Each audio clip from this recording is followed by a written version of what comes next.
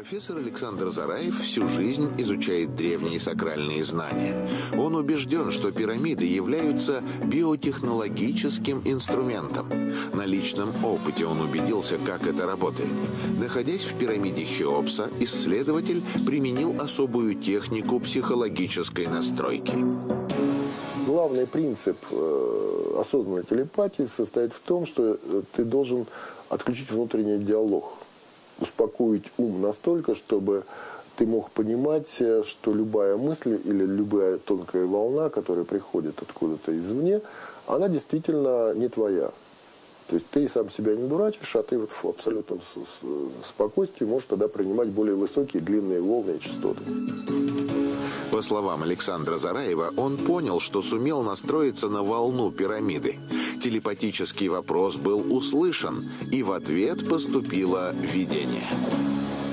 Я просто сел, стал смотреть, что мне покажут. И вот из этой шахты как бы то ли шла энергия, то ли шла какие-то вибрации. Но я, так сказать, увидел много из своих прошлых жизней. То есть как, э, так сказать, большую, хорошую киноленту. Перед взором исследователя пронеслись картины предыдущих воплощений. Разные эпохи, лица, события, имена и даты слились в один, теперь полностью осознанный опыт. Более того, Александр Зараев увидел свое будущее. Мистерия в пирамиде Хеопса изменила и обогатила его. Покинув святилище, он осознал, что больше никогда не будет прежним я почувствовал, что здесь, э, в Великой пирамиде, есть выход в надвременье. То есть э, связь с теми жрецами и с теми духовными учителями, которые перешли через эту реку времени, переплыли и находятся в другом измерении, в пирамиде вполне реально. Каждый ли может пережить необычный опыт в пирамидах Египта? Зависит ли это от способностей человека или от функционирования устройства? Елена Евстафьева посетила пирамиды Гизы как обычный турист в составе большой экскурсионной группы. Она вела себя как все, но неожиданно ее охватило ощущение смутного беспокойства. Передо мной появляется моментально вырастает существо очень больших размеров. Я помню точно, что вот даже цвет серо-коричневого цвета, вроде как тень, вроде и не тень. Огромное существо очертаниями напоминало человека. Кроме Елены его никто не видел и не слышал. Оно обратилось к женщине и выразило гнев из-за компании праздных туристов. Затем видение сообщило Елене, что она должна исследовать некоторые храмы Египта. Голос не это не какой-то металлический голос, голос, который я помню сейчас. Ну, то есть это определенные звуковые вибрации, которые как бы звучали внутри меня самой. Вот. И я поняла вот еще что, что если я не хочу, чтобы это со мной общалось, это моментально исчезло. Позднее Елена поехала на экскурсию в местечко Саккара. Там находятся ступенчатые пирамиды и город мертвых. Она стояла в центре некрополя и вдруг увидела необычный мираж. Вокруг из воздуха возникли и понеслись в ее сторону свирепые войны. Я помню, что я подняла голову наверх, и на меня стали бежать. Первое, что я видела, воины в, каких-то, причем много, значит, вооруженных людей, которые в итоге стали бежать э, через меня. А ноги их не касались песка, где-то было 30, может быть, 40 сантиметров. По словам Елены, она осознавала, что в настоящее время находится с друзьями среди древних развалин. И в то же время перед ней открылись события тысячелетней давности. Я моментально сразу понимаю, что у них беда, правитель, э, повелитель в итоге его называют, э, утонул. И они бегут сообщить эту весть женщине, я понимаю, что это просто очень важные царственные особы, а, которые испытывают э, страшное горе. Путешественница будто наяву видела гордую царицу невиданной красоты. Супруга фараона была в страшном горе, ярости и истерике. Она велела немедленно казнить тех, кто не смог помочь ее повелителю в беде. А чуть позже созвала жрецов. Созываются какие-то лучшие, в общем, самые лучшие какие-то профессионалы – люди, которые могут из белоснежного камня, я думаю, что это мрамор, а, воссоздать вот это тело. Только пропорции у него были очень большие, очень большая статуя.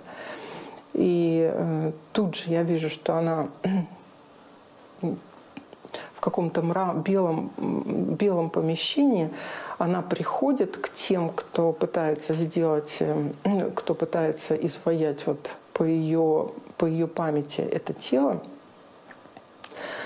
она пытается его воссоздать так, как она видит. Улыбка, вот все, движение рук, вот как, как будто дышит диафрагма, в общем, все-все-все. И следующее видение пронеслось перед глазами Елены. В большом зале храма на алтаре лежала мраморная статуя фараона. Затем царица силой магического искусства призвала душу своего возлюбленного из мира мертвых и вселила ее в камень. Никто, кроме царицы и верховных жрецов, не заходил в святилище этого храма. Супруга фараона часто посещала статую и часами беседовала с духом своего повелителя. Он долгое время помогал ей править страной. Как объяснить эти видения? Могли ли путешественники попасть под неизвестные науки воздействия пирамид? Но откуда оно появилось? Удивительное совпадение, но древнейшие пирамиды и храмы мира построены в неслучайных местах. Как вычислили геофизики, они все стоят на точках выхода геомагнитной энергии. Каким-то образом жрецы вычисляли георазломы в земной коре и возводили там сложнейшие сооружения. Вряд ли этот колоссальный труд проводился ради захоронения фараонов, как принято считать пирамиде э, с человеком происходит то, что его э, сознание и его э, физическая структура неким образом гармонизируются, да, такое модное слово. А, и это выражается абсолютно точно четко в изменении всей вообще вот внешней, если мы посмотрим, энергетической структуры организма. Что происходит? Э, ну, если попросту, э, жидкости, которых в человеке процентов 80, неким образом заряжаются магнитная и электрическая энергия. В одной пирамиде нет следов ритуального погребения. А вот царские гробницы, расположенные на западном берегу Нила, напротив, изукрашены очень богато. Если пирамиды готовились как усыпальницы, оставить их такими бедными было бы страшным неуважением к почившему царю. Великая пирамида настолько сложна и построена с учетом столь многих знаний, что я скорее поверю, что они были высокотехнологичными сооружениями, чем могилами для упокоения царей. Для каких-то целей комплекс Гиза имеет точную ориентацию по сторонам света. А выходы шахт пирамиды Хеопса направлены на созвездия Орион, Сириус, Большая и Малая Медведицы. Пропорции отдельных элементов этих 100-метровых сооружений демонстрируют все универсальные математические законы, известные человечеству. Золотое сечение, число π, число φ. Для э, любого, так сказать, э, ритуального памятника не нужна такая математическая точность, которую мы имеем э, на пирамидах Египта. Не нужна такая точность, точность до полуградуса в углах, э, в метрах по основанию, географическая привязка. Поэтому гипотеза о том, что пирамиды э, являются э, сооружениями техногенными, на мой взгляд, не менее обоснованная, а даже более обоснованная, чем традиционная гипотеза, что это погребальные памятники, гробницы фараонов, царей Египта. Историки аргументируют погребальную версию еще и тем, что в более поздних египетских постройках-мастабах пирамидальной формы действительно хоронили сановников и жрецов. Но эти постройки много примитивнее больших пирамид. Погоня же за мумиями царей неизменно заканчивалась одинаково. Но тогда для чего в некоторых пирамидах стоят саркофаги? С пирамидами часто ассоциируется определенный вид энергии. Некоторые пирамиды представляют собой гробницы, но другие пирамиды были построены, похоже, не с целью размещения склепов внутри. Очень вероятно, это некие генераторы энергии, а может, внутри этих пирамид некогда устанавливались специальные устройства. Физик Андрей Вержбицкий понял, зачем строились пирамиды, когда увидел детальную схему пирамиды Хеопса. Почти так же выглядит чертеж современной спутниковой антенны. Расчеты подтвердили, древние пирамиды – это комплекс межпланетной системы связи. Современная сверхвысокочастотная техника и та техника пирамидальная э, конструкции конструктивно совпадали. Волноводы, шлейфы, детали, вплоть до мелочей. В качестве антенны пирамида устроена более грамотно, чем спутниковые тарелки. Пирамидальная антенна работает с учетом магнитного поля Земли. Это особенно важно для дальней космической связи. Фокус находится внутри и совпадает с местом, где стоит гранитный саркофаг.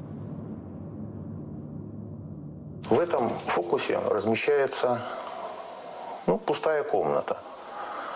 А сконцентрированная сотнями квадратных метров грани пирамиды энергии а, концентрируется на потолок этой погребальной так называемой камеры, вызывая микровибрацию блоков. И в камере, в камере в этой появляется, она является резонатором. Значит, что касается пирамидальной антенны Хиопса, а там все резонаторы очень точно подстроены на частоту 438 Гц. Сторонники этой версии считают, что человек, лежа в саркофаге, мог слышать или видеть послание. Но как это возможно с помощью пустой гранитной коробки? Все дело в свойствах гранита. Это кристаллическая горная порода, в состав которой входят слюда и кварц. Наука сегодня широко применяет кристаллы в компьютерной, космической отрасли и нанотехнологиях. Кристаллы могут хранить огромное количество информации. Они также используются как преобразователи энергии. Возможно, есть и неизученные свойства, которые применялись в саркофагах. Это модулирующее или демодулирующее устройство. Представьте себе, что ведь низкочастотный сигнал не пошлешь на большие дальности. А этот сигнал, который, значит, нужна высокая частота. Пирамида работает на сверхвысоких частотах, на сверхчастотах. Но чтобы принести полезный сигнал, на эту сверхвысокую частоту подгружали еще и низкочастотный сигнал. То есть наш разговор, речь, там, хотите музыку, там, которая на одной ноте играет. Вот. Когда этот сигнал приходил издалека сюда на Землю, значит, нужно было отфильтровать эту низкочастотную составляющую, то есть демодулировать сигнал выделить низкочастотную ее часть. Вот для этих вещей служил саркофаг. Человек, или, допустим, Бог слышал, что ему передают. Исследователи заметили странную закономерность. Все древние пирамиды на планете расположены вдоль северного тропика или 30 градуса северной широты и ровно с шагом в 18 градусов. Более того, они ориентированы четко по сторонам света и друг на друга. С технической точки зрения, так располагать объекты нужно только для одной цели – передачи сигнала. Именно поэтому пирамиды и строили по 30-й параллели. Не как эстафета передавали функцию. Одна отработала, ушла в, э, в свет, вторая в темноту вступила, третья в темноту вступила и так далее. Получается, кто-то возвел на планете единый комплекс связи. При вращении Земли они вручают друг другу эстафету непрерывного приема передачи сигнала из космоса. Как правило, в них по одной камере с гранитной коробкой, а в пирамиде Хеопса целых три. Радиотехники вычислили, что верхняя, скорее всего, работает на небольшие расстояния, средняя на более удаленные, а нижняя на межгалактические дистанции. Если все остальные пирамиды – это обычные станции дальней космической связи, которые были нацелены на ту планету, на ту, на четвертую, пятую, десятую, тридцатую, пятидесятую, то э, пирамида Хеопса у нее совсем другая э, функция. Она, кроме того, что могла быть обычной станцией дальней космической связи, у нее основная функция была – это ретранслятор. Журналист и исследователь Татьяна Сырченко вспоминает странный случай. Все началось в обычный студеный питерский вечер, когда Татьяна Михайловна отдыхала дома. Внезапно все заискрилось, в доме выбило пробки, и в течение секундной вспышки она пережила картину из иной реальности. Я совершенно не спала. Я видела этих людей, я видела своего мужа, и, и одновременно я ощутила эту вещь. Будто наяву она увидела огромный дворец и юную девушку в окружении рабынь с опахалами. Жрец в белых одеждах говорит ей «Страна в опасности».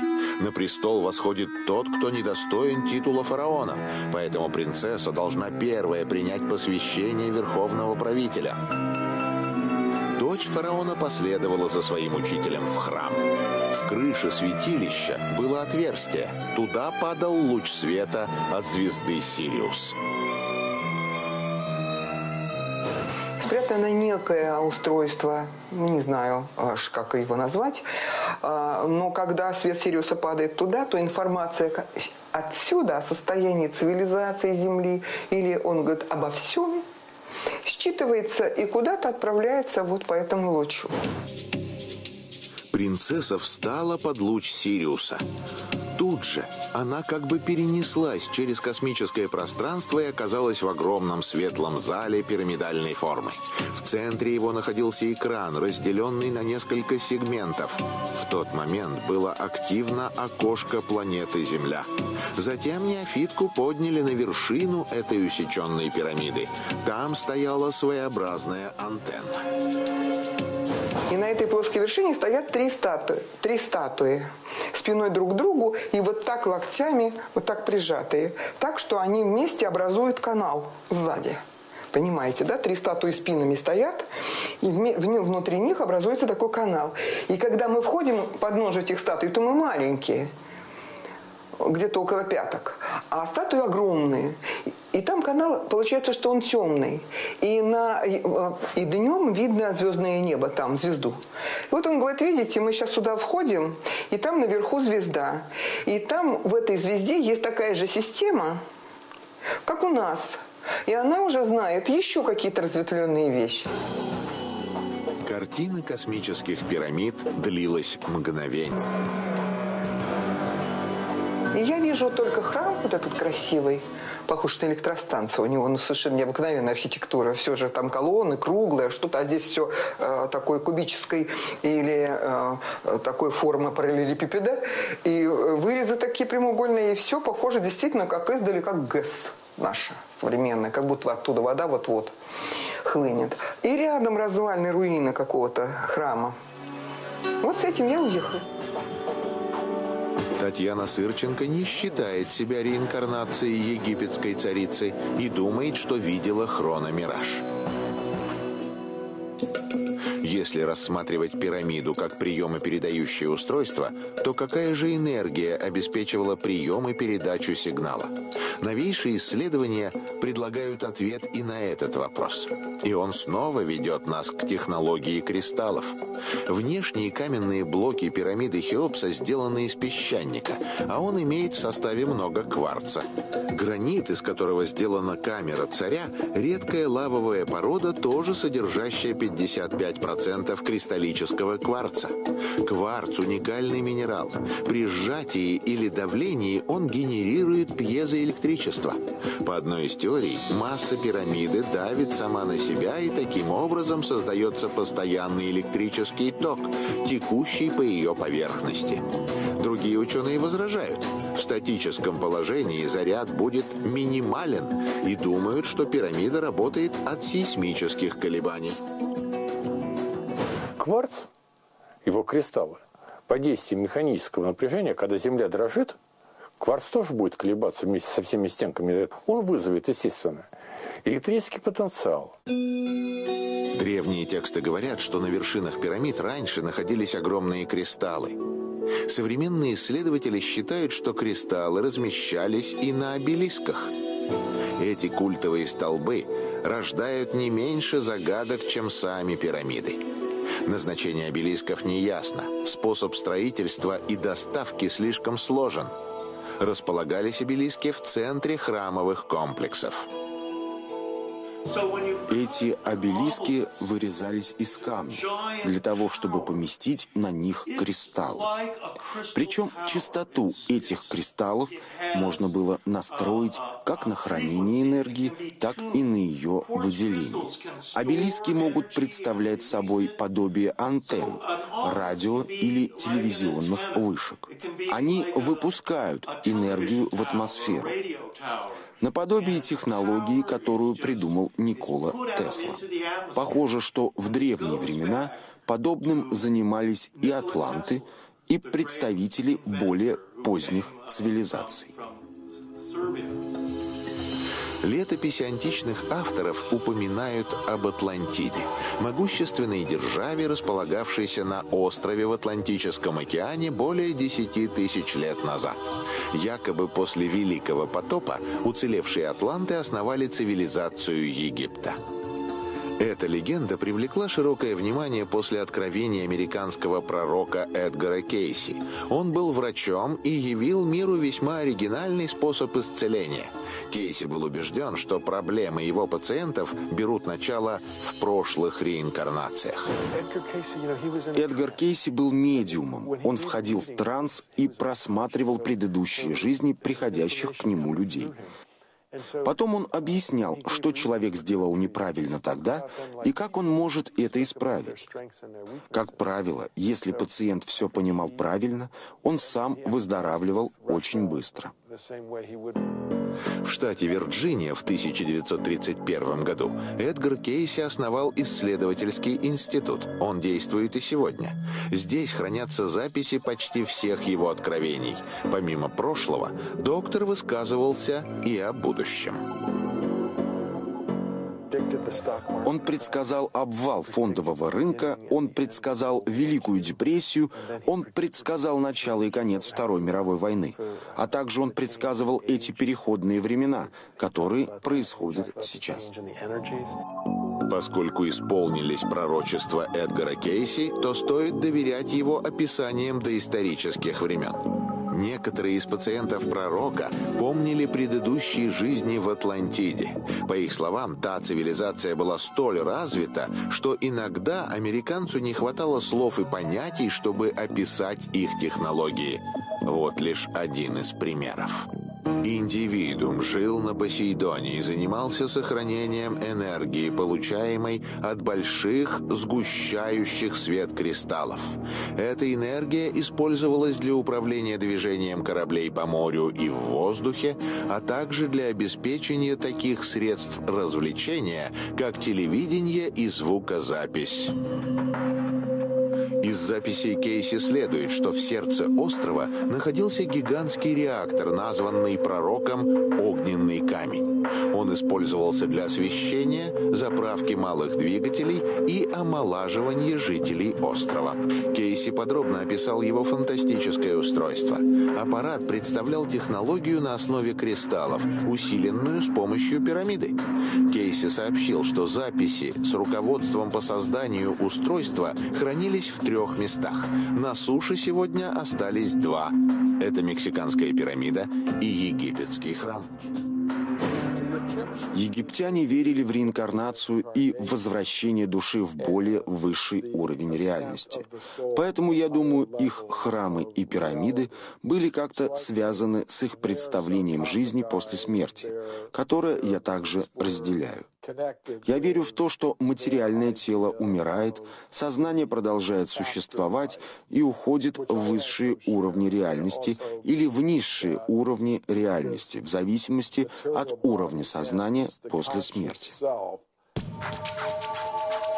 Невероятная история, соединившая прагматичный 20 век с легендарным прошлым, произошла в древнем египетском городе Абидос. Четыре тысячи лет назад он возник как священный центр огромной страны, но потом был забыт.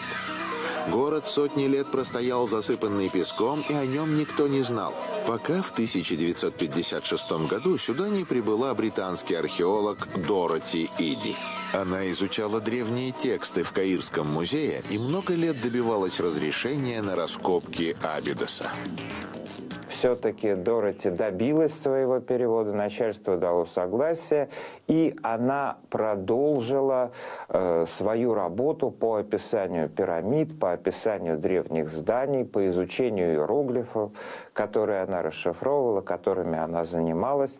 И э, в результате получилось э, так, что она стала лучше местных экскурсоводов рассказывать туристам об истории этого места.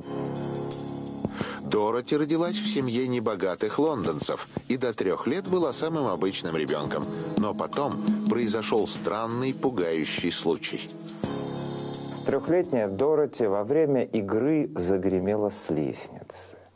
Родители вызвали врача, потому что думали, что все с девочкой вообще совсем плохо, конец наступает девочке. И, естественно, врач, который пришел, тоже засвидетельствовал близкое наступление смерти, пошел за медсестрой э, и за тем, чтобы выписать свидетельство о смерти. А когда он вернулся, к своему изумлению, он увидел играющее тело, которое, э, по его мнению, должно было уже быть при смерти. С тех пор Дороти изменилась. Она часто застывала в задумчивости и просила родителей отвезти ее домой. Этих причуд никто не понимал. А спустя год отец взял ее на экскурсию в Британский музей. В египетском зале девочка снова шокировала всех. Она стала целовать ноги древнеегипетских статуй, э, присела у саркофага, и когда изумленные родители попросили э, ее пойти домой, она вдруг э, совершенно чужим взрослым голосом заявила им «Оставьте меня, это мой народ». Дороти Иди необычно быстро научилась читать иероглифы и стала разбираться в истории древнего Египта не хуже профессоров.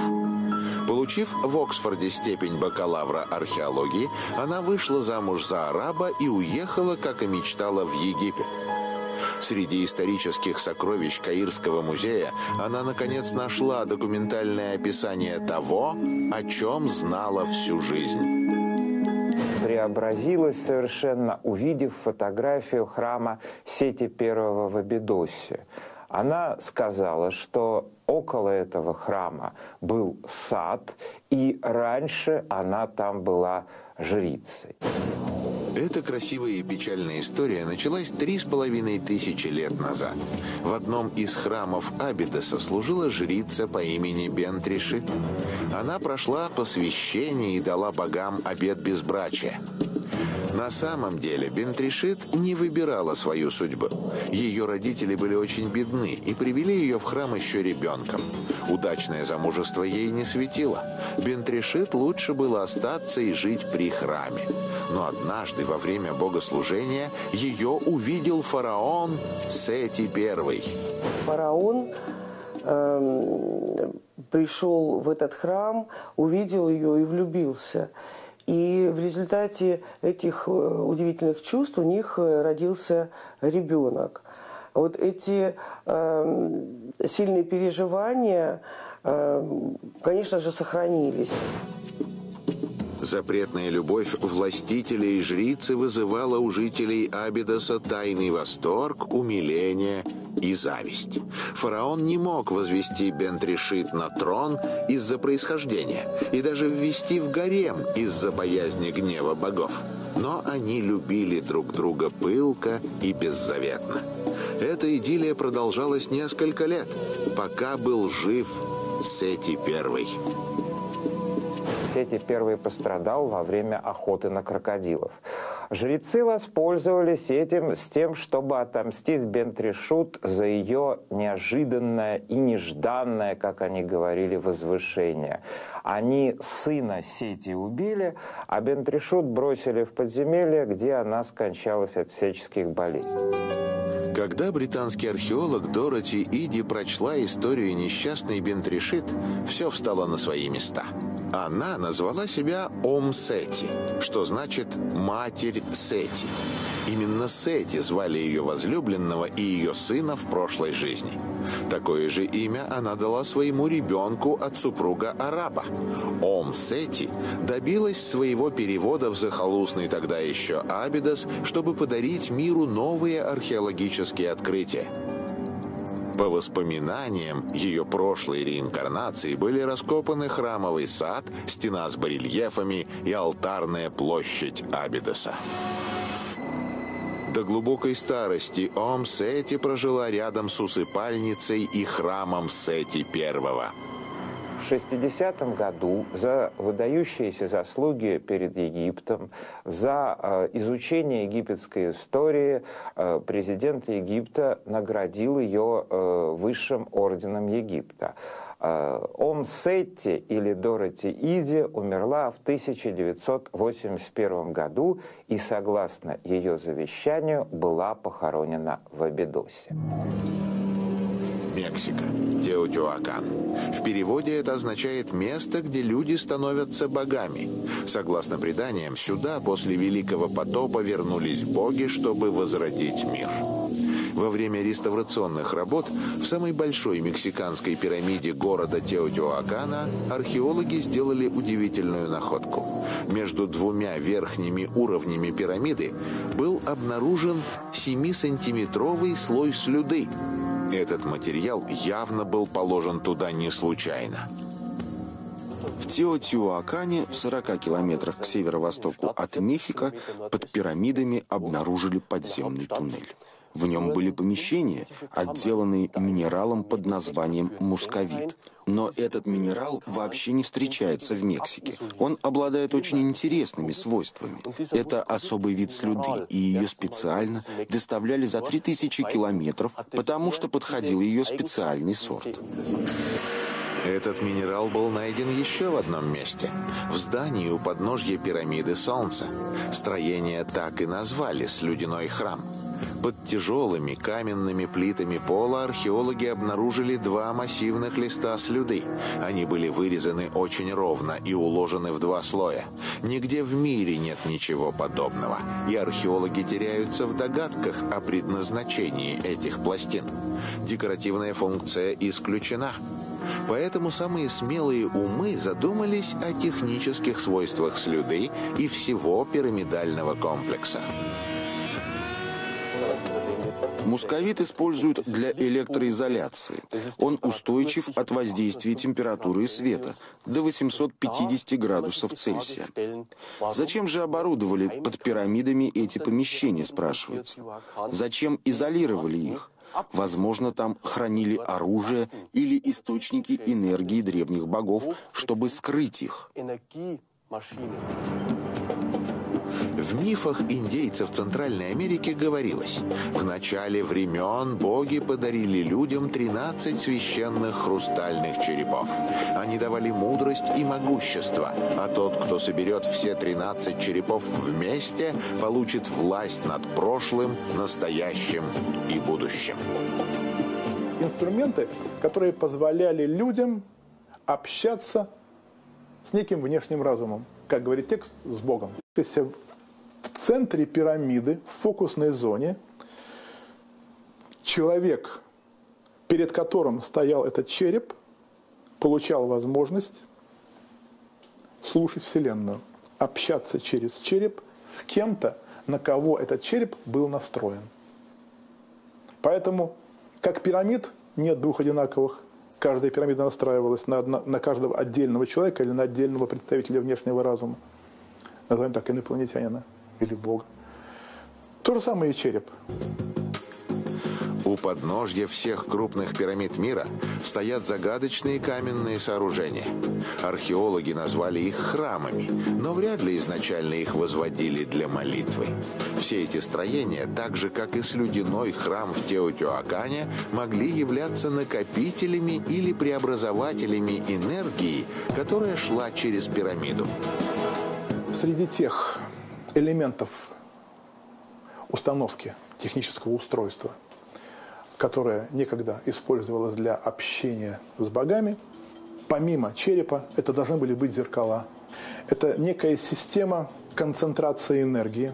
Это должны были быть какие-то кубы, например, замкнутые пространства, где находился кристалл, где за счет одностороннего поступления энергии внутрь возникает момент уплотнения энергии, концентрации энергии.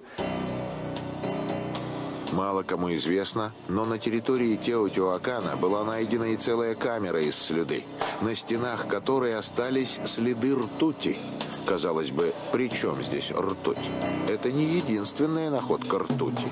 В Капане, Тикале и Поленке, древних городах Майя, были найдены целые могилы с ртутью. Иногда внутри них лежали скелеты царственных особ. Что за странная традиция? Швейцарский археолог и исследователь древних цивилизаций Эрих фон Деникен считает, что подобрался к разгадке храмовой ртути. В текстах Древней Индии он нашел описание летательных аппаратов, которые назывались виманы. Их двигатель якобы работал на парах ртути, поэтому ртуть хранили в герметичных слюдяных резервуарах возле пирамиды храмов.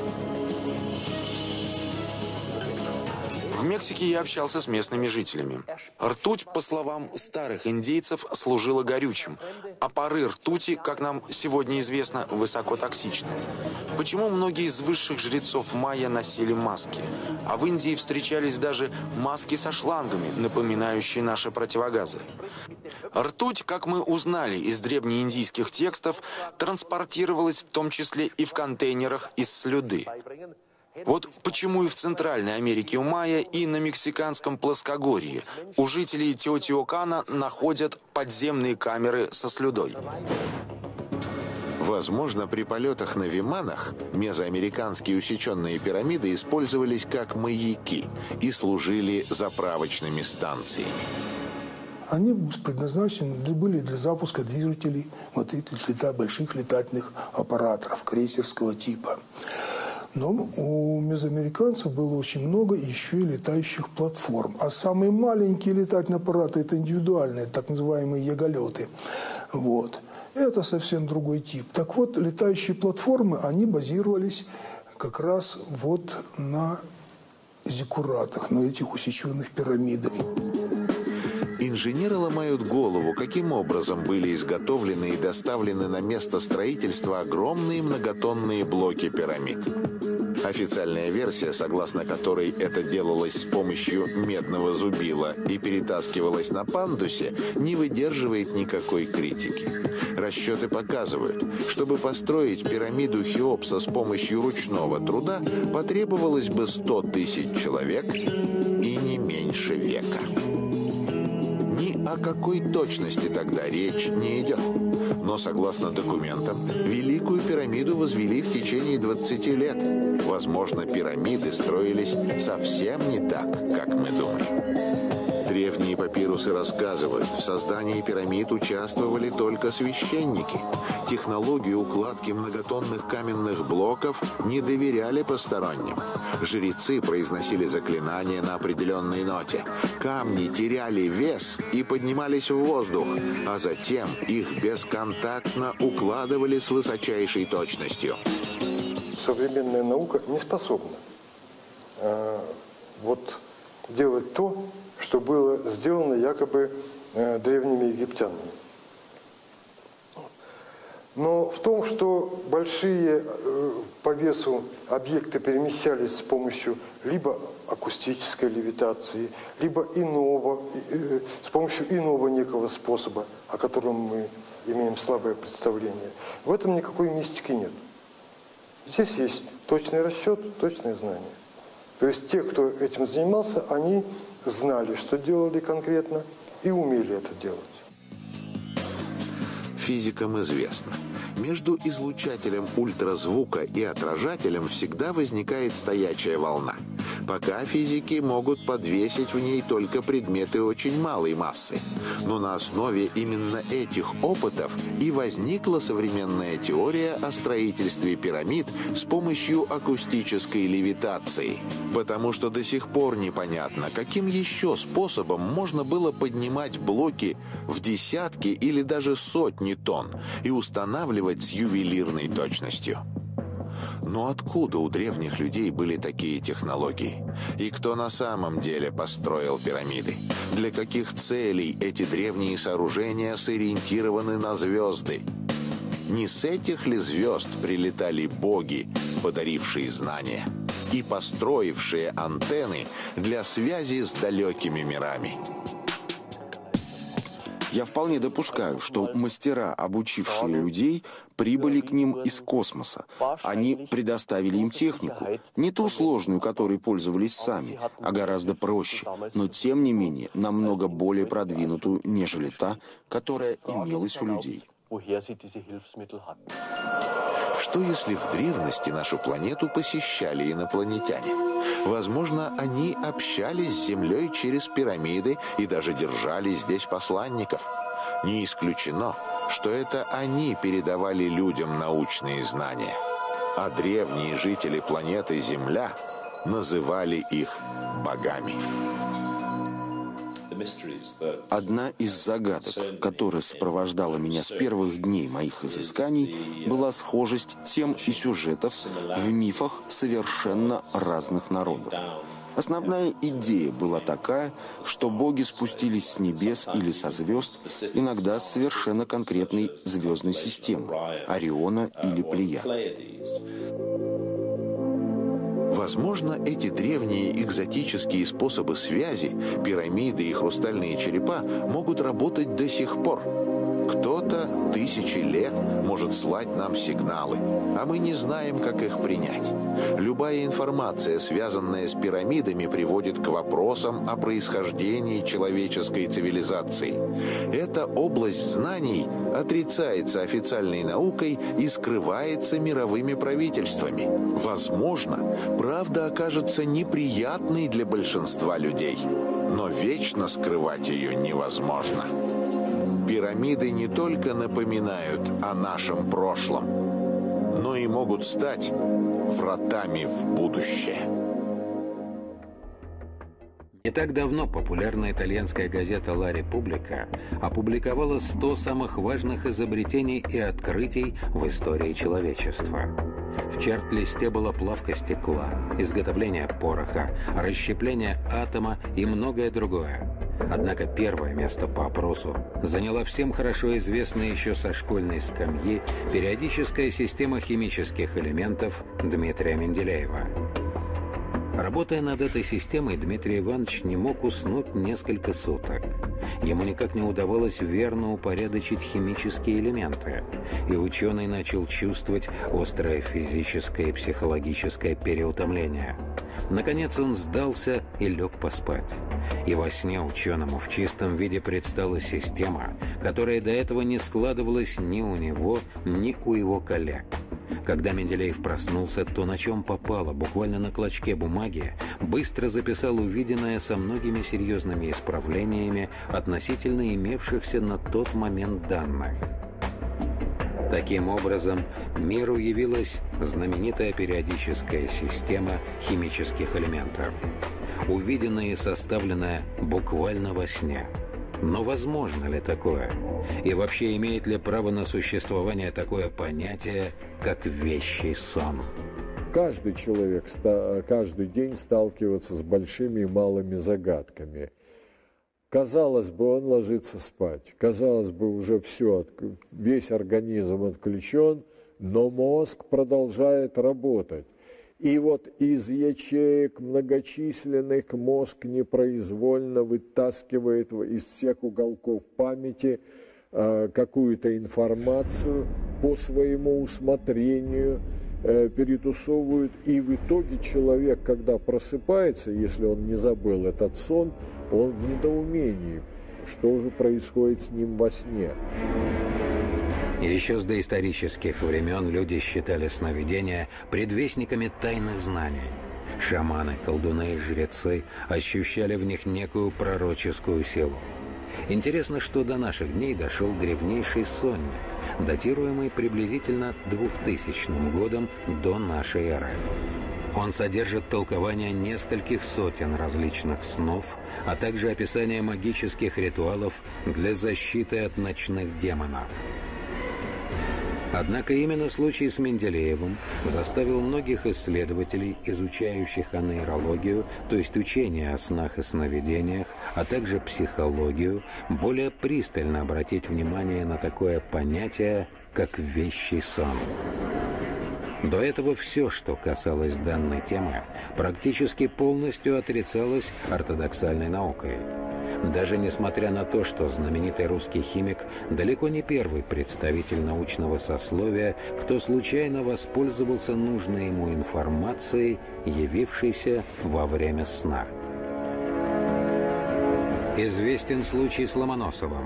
Когда Михаил Васильевич возвращался из Германии в Россию, увидел странный сон – Остров в Белом море, на котором он часто бывал со своим отцом. У берега, словно призрак, лежит на боку разбитый корабль, попавший в бурю. А рядом отец. И отец просит, Михайло, приди. Я вот здесь потерпел кораблекрушение со своими товарищами. Это был как раз вещий сон – и даже там был назван и синий камень, и приметы этого острова. И когда Ломоносов вернулся, он, к сожалению, не смог поехать на родину, он вернулся в Петербург, а в Петербург часто наведывались его земляки, поморы, и они как раз ему, то, первая же встреча, они ему рассказали, что от его отца нет вестей уже несколько месяцев. Он ушел со своей артелью рыбацкой и не вернулся. В течение всего лета ждали поморов с Путина. Но никаких вестей от рыбацкой артели никак не поступало. Ломоносов уже было сам собрался отправиться на поиски пропавших рыбаков, однако обстоятельства помешали осуществлению его замысла. И тогда он на свои деньги снарядил поисковую экспедицию и дал четкие указания, где искать. Моряки отправились в Белое море и обнаружили именно тот самый остров, а на нем тела погибших от жажды и голода рыбаков. Среди них оказался и отец Михаила Ломоносова. Вот вещий сон. Ломоносов – человек, который все подвергал сомнению, все пытался проверить научно, в том числе и свои сновидения. Вот он об этом пишет. Это уже никакие не легенды. Интересно, что есть некоторые ученые, которые, несмотря на критику и сопротивление коллег, соглашаются с тем, что что-то такое в природе существует. Историческими летописями зафиксировано немало случаев, доказывающих, что вещи или по-другому пророческие сны – не бредовое воображение воспаленного ума. Специалисты, занимающиеся сновидениями, часто приводят такой пример вещего сна. Поэт и декабрист Кондратий Рылеев, будучи в младенческом возрасте, серьезно заболел. И вот его матери снится сон, в котором некий таинственный голос посоветовал ей не просить у Бога исцеления для ребенка, потому что жизнь его будет тяжелой, а смерть страшной. Мать в ночном кошмаре во всех деталях увидела судьбу сына и в конце его жизни веселицу. Но Богу за исцеление Кондратия все же помолилась. Рылеев поправился, но финал его жизни хорошо всем известен. Он был казнен в Петропавловской крепости. Есть не менее удивительные случаи, которые фиксируют и современные исследователи. При этом, как утверждают эксперты, загадочные сновидения чаще всего происходят с людьми, находящимися в экстремальной ситуации. Например, стоит солдат на посту во время войны, метрах там в ста э, немецкая линия обороны. Время под утро, 5 часов, э, такое время, когда спать хочется невозможно. И провалился на несколько мгновений солдат в сон. Ему снится мать. И говорит, что ж ты спишь? Э, немцы наступают. Он встрепенулся, действительно обнаружил немца, была поднята тревога, и все закончилось хорошо. Как комментирует этот случай доктор медицинских наук, не буду называть его фамилию, он комментирует это так. Ну вот, немцы наступают. Ну, обязательно кто-то там на сучок нажмет, что-то такое хрустнет, какой-то сигнал придет. А мозг человеческий устроен таким удивительным образом, что он все это преобразовал в себе и э, выдал э, в виде вот такого вот вещего сна. То есть налицо попытка одно непонятное объяснить другим непонятным. Подобных примеров вещих снов можно привести еще очень много – Интересно, что же все-таки думают об этом загадочном явлении специалисты и исследователи? Версий существует немало. Например, биоэнергетики считают, что, образно говоря, предсказательную информацию спящий человек черпает из внешнего источника, из ноосферы. Ноосфера – это область взаимодействия общества и природы – в ее границах разумная человеческая деятельность становится определяющим фактором воздействия на биологические процессы. Так вот, во время сна организм отключается от действительности, но при этом он превращается в некий прибор с определенными заданными параметрами. И этот так называемый прибор сканирует ноосферную информацию и отбирает нужную. Однако не каждому дано быть таким прибором в биологической оболочке. Поэтому, как считают специалисты, вещий сон – это удел избранных. И, видимо, так сложно понять механизм данного феномена. Если говорить о механизме, говорить об объяснении таких снов, то, я думаю, точнее, чем э, сказать, что это паранормальное явление, нельзя. А что такое паранормальное явление? Это психофизические феномены, на которые у современной науки ответа нет. Можно, повторяю, строить разные гипотезы, что это выход какое-то пространство, информационное поле и так далее и тому подобное. Но это все наши догадки, гипотезы, а, и к ним можно по-разному относиться. Известный американский врач-невролог Джонатан Уинсон и некоторые его коллеги по профессии, описывая то, что происходит во время сна в мозге человека, прибегают к аналогии с компьютером. По мнению этих медиков, человеческий мозг перерабатывает накопленную за день информацию, соединяет ее с уже хранящейся в памяти. Во время сна она всплывает и складывается в разнообразные картинки – причем настолько осмысленные, что многие не сомневаются. Снится грядущее. Более того, известно много случаев, когда увиденное во сне впоследствии действительно сбывалось наяву. Но ведь многое не сбывается. Почему? Ну, для того, чтобы вообще говорить о вещем сне, нам необходимо понять, э, что для нас является будущее, как его можно интерпретировать правильным образом будущее, оно не постоянно. Каждую секунду возникает э, миллиарды вариаций развития будущего. Если речь идет о так называемых точках э, жизни, точке смерти человека, да, то событие, вероятнее всего, случится. Вещи сны также могут касаться каких-то событий, связанных с большим количеством людей, например, какие-то катастрофы, да, там, падение самолета, например, того же самого, либо там землетрясение. Интересно, что некоторые люди, те, которых мы называем гениями, подозревая о чудесных свойствах сновидений, пытались эти свойства использовать. Томас Эдисон даже придумал приспособление, позволявшее запоминать идеи в пограничном состоянии между бодрствованием и сном.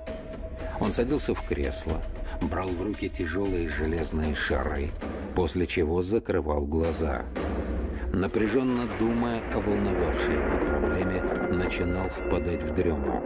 Поскольку в таком состоянии Эдисон терял контроль над собой, то руки его самопроизвольно разжимались.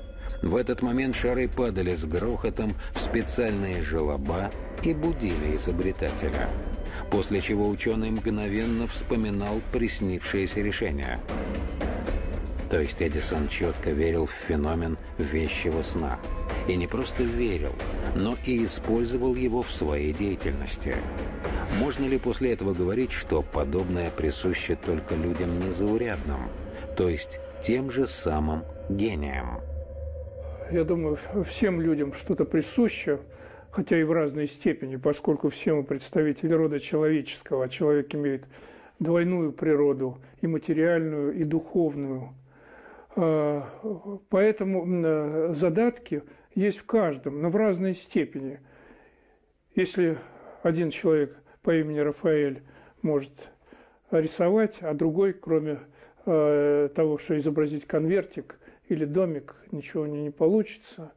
Ну, тоже можно сказать, что у всех есть задатки к рисованию, но в разной степени. И тут тоже. Может быть, у кого-то и были вещи сны, но просто они такие уж а, а, яростно атеистического направления, что а, отказались э, придавать значение этим снам, не стали им придавать, или просто не задумываются над такими вещами – Специалисты в сфере анейрологии и другие исследователи психики человека уже давно обратили внимание на существование в мозге некоего аппарата предвидения. То есть мозг умеет не только чувствовать тончайшие процессы, происходящие в организме, но и способен оценивать ситуацию и даже моделировать ее возможный исход. По-простому это называется чутье, по-научному – интуиция. Бывает так, что человек по привычке связывает в своем сознании множество разнообразных признаков заболевания с обстоятельствами его возникновения. А в нашей голове, как на жестком диске компьютера, хранятся укоренившиеся вполне естественные ассоциации на каждый случай жизни – Например, с первых дней жизни ребенку внушают, что есть сырую рыбу или сырое мясо категорически нельзя, так как он может получить расстройство желудка или какую-нибудь более серьезную болезнь. И вот ребенок взрослеет, подхватывает инфекцию, начинает себя плохо чувствовать, а ночью ему снится сырое мясо. В этом нет ничего удивительного и уж тем более мистического – Такое сновидение уже было запрограммировано внушением вреда сырого мяса в детстве. А суеверные толкователи говорят, что сон был в руку, то есть предупредил о болезни. На самом деле это сновидение стало уже следствием, а не предупреждением. Но бывает и так, когда во сне предвидится некая драма – Например, человек видит, как его ближайший родственник погибает в пучине моря. В мельчайших подробностях. В поту просыпается, а тот самый близкий человек рядом спит себе спокойно, как ни в чем не бывало. Но спустя некоторое время происходит в точности то, что когда-то приснилось.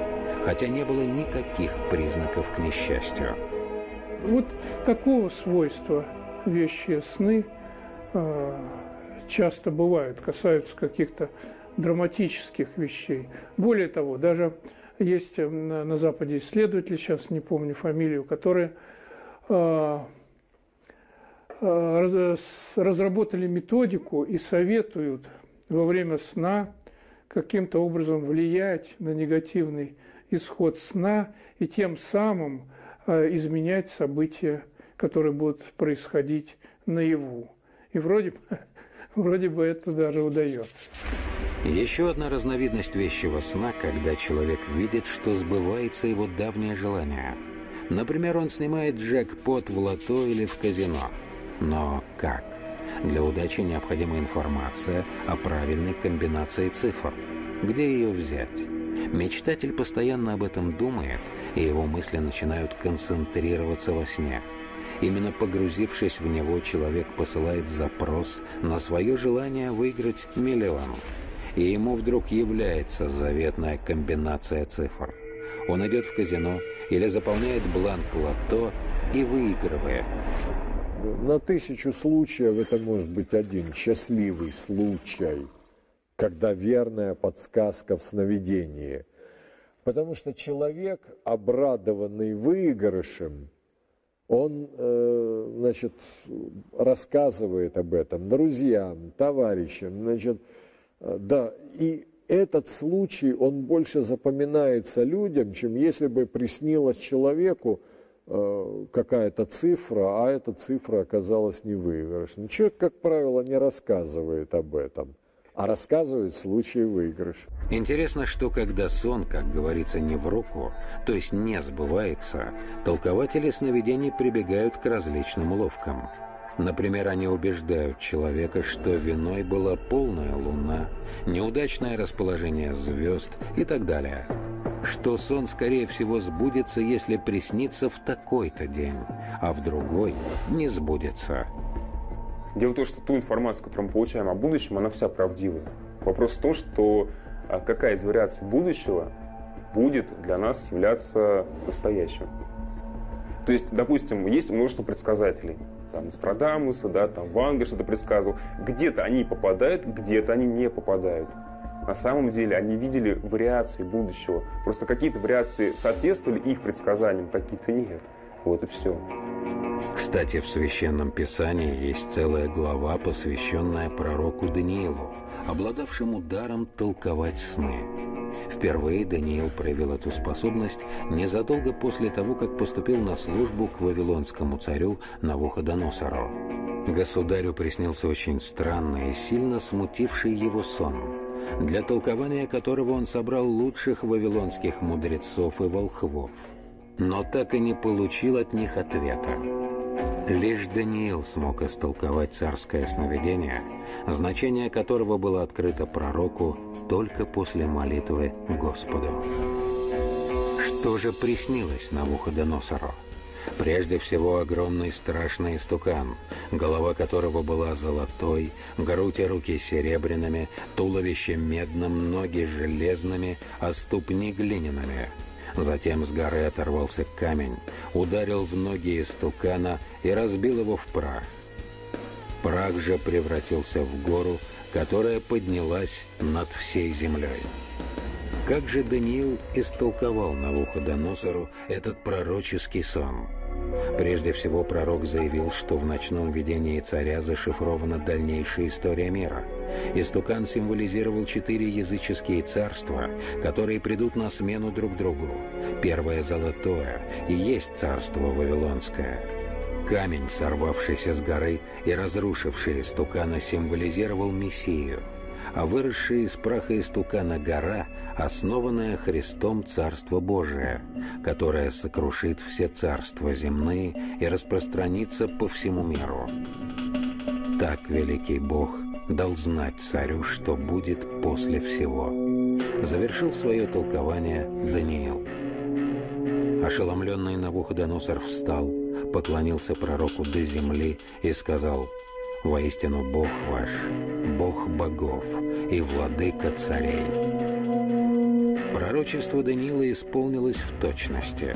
Вслед за царством Вавилонским последовали три языческих царства, владевшие иудейским народом персидское, греко-македонское и римское – во время Римского царства на землю явился Иисус и основал свое царство, всемирное и вечное, христианскую церковь.